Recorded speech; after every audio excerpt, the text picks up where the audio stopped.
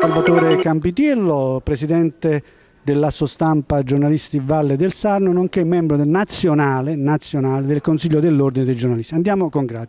Associazione Giornalisti Valle del Sarno, da quanto tempo opera e soprattutto cosa fa?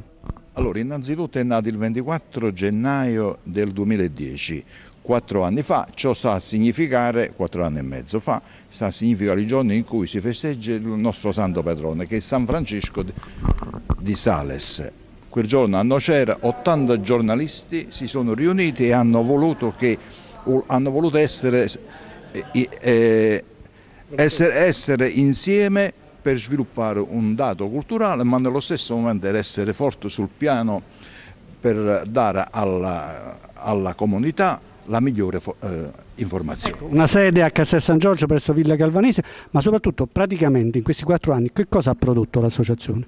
Allora, ha prodotto un premio nazionale di giornalismo che è questo il 27 di, di ottobre eh, ci sarà la quarta edizione. Ha prodotto una marea di, di convegni, di, di dibattito sull'informazione perché è il metodo per migliorare questa informazione. L'informazione è qualcosa di delicato. Si evolve sempre, passa coi tempi, il web e quant'altro. Esattamente, evolve, però nello stesso momento deve mettere in condizione il collega giornalista di aggiornarsi. Infatti adesso abbiamo anche iniziato i corsi di aggiornamento. Questi corsi di aggiornamento sono fondamentali per creare all'interno della stessa categoria la forza necessaria per migliorare, perché eh, dobbiamo stare al passo con i tempi, non, una categoria che non si aggiorna è una categoria scadente, invece questo dato qua mette in condizione che il giornalista e tutti i giornalisti possono dare il meglio di sé per dare un'informazione di qualità.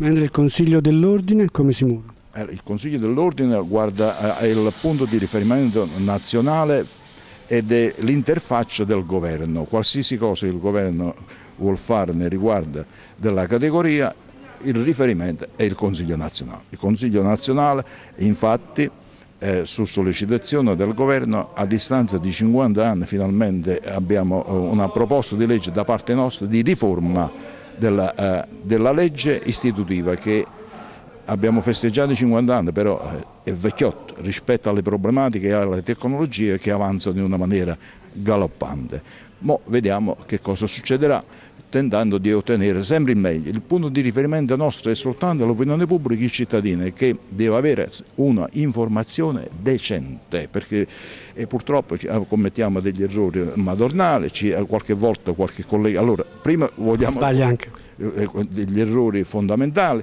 eh, ma va anche detto che la categoria nel suo complesso è una categoria all'altezza del compito. È ovvio che noi dobbiamo sempre stare attenti per far sì che